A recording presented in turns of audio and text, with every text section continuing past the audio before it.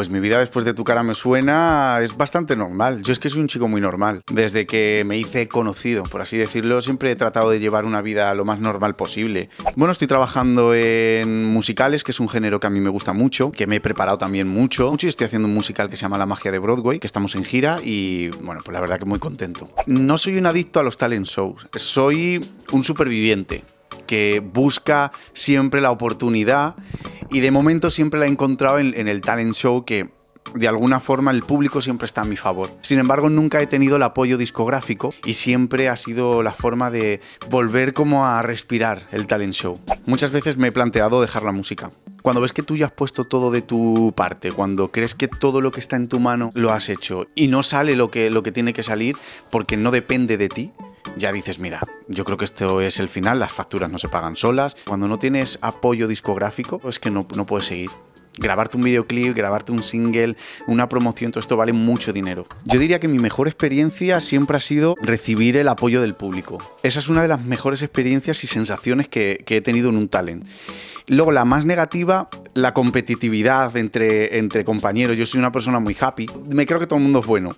Y quiero seguir creyendo así. Y esa competitividad a mí me agota, me agota mucho. Eso y la cruda realidad de que no todo es como, como se pinta, que no todo es tan bonito, ni todo es, aquí tenemos un coche que te regalamos, luego vas y te dan las ruedas y el volante, ¿sabes? O sea, que nada es real.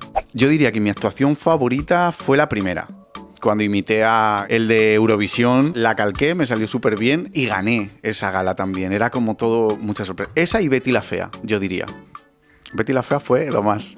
Mi ganador favorito de Tu cara me suena, yo creo que Blas calcó todo y Rocco también. Y Mikel también, me gustó mucho. Elegí esta canción, Hasta que llueva, porque la vi optimista, la vi bailable, la vi eh, perfecta para, para estos tiempos en los que, ya que no se puede salir, yo creo que es la canción perfecta para ponértela en casa ese día, levantarte con buen ánimo, irte al gimnasio. Además, es, una colaboración muy guay con Moncho Chavea, que es un tío que lo está partiendo hoy. Es una producción de Juan Maleal, que lo ha hecho casi todo también. O sea que yo creo que era, era perfecta para empezar otra vez.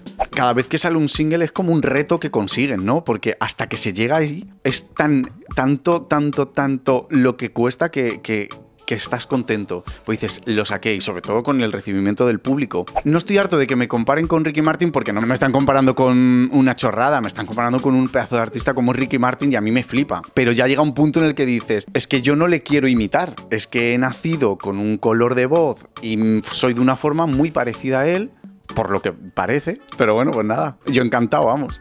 Ya quisiera yo.